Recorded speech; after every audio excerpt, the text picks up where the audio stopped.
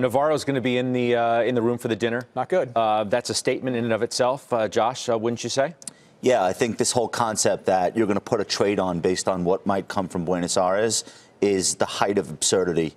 Um, because you don't know who Trump's going to get into the elevator last uh, uh, with last. If it's Kudlow, maybe you get a, a, more conciliatory tone. If it's Navarro, maybe you don't. This is not investing. This is nonsense. So let me ask you this: I, do, you I would need, completely... do you need anything to come out of of this meeting? To have a rally into the end of the year. No, because you, you, had a rally. You had a rally. You had a rally this week, and and no developments on trade, and if anything, worse developments politically for the president. You had so the best I don't week, think by the way. Do you know you had the best week for the Dow in, since in mid-February? No, since mid-February. Best week. oh, for the Dow. I, I'm an S&P person. The S&P had its best week since the calamity late January, early February. That second week of February, we had a monster rally. We had one just now. Looks about the same and a big comeback, Scott, for some big and very crucial stocks for the market. Amazon, Nvidia, and Netflix all up 10% or better. The problem is when you look back at the monthly candles, nothing's fixed.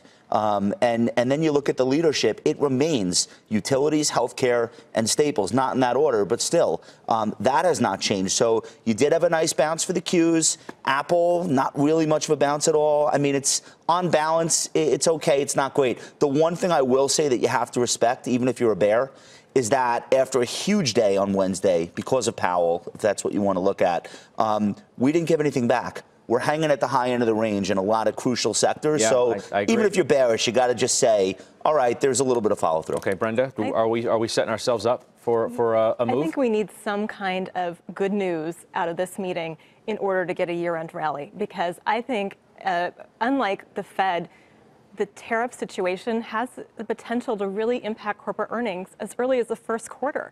You know, Goldman Sachs had a note out yesterday, late in the day, saying that uh, S&P 500 earnings could be impacted by 7%. Uh, by tariffs. That assumes no costs are passed on. Of course, we know that some of those costs are absolutely going to be cast, passed along, but nevertheless, it really clouds the picture for corporate earnings growth. And it, it, it makes our job more granular in terms of figuring out who the winners and losers are going to be in terms of who's going to be able to pass along costs.